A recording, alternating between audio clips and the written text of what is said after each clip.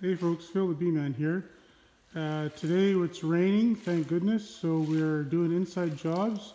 One of them is cleaning excluders.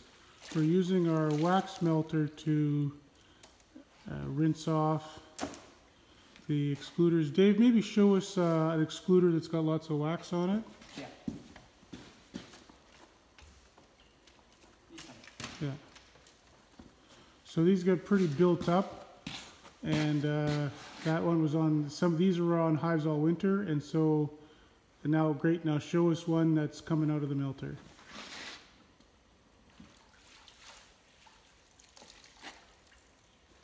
Beautiful.